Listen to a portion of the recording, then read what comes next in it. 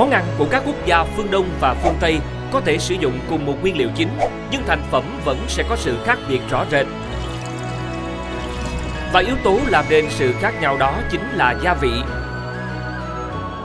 Và tại mỗi quốc gia, người dân châu Á lại có những loại gia vị cơ bản để tạo ra hương sắc riêng cho ẩm thực đất nước mình.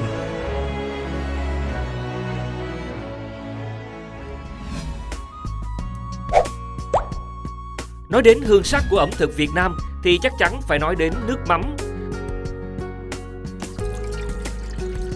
Không chỉ dừng lại như một loại gia vị, nước mắm đã trở thành linh hồn của tất cả các món ăn Việt Nam. Giúp tăng hương vị của thực phẩm đã đành, khi đứng một mình, nước mắm vẫn tỏa sáng và làm say mê biết bao tín đồ ẩm thực. Nước mắm bắt lên bếp thêm chút đường, lửa liu riu cho đến khi hơi sệt,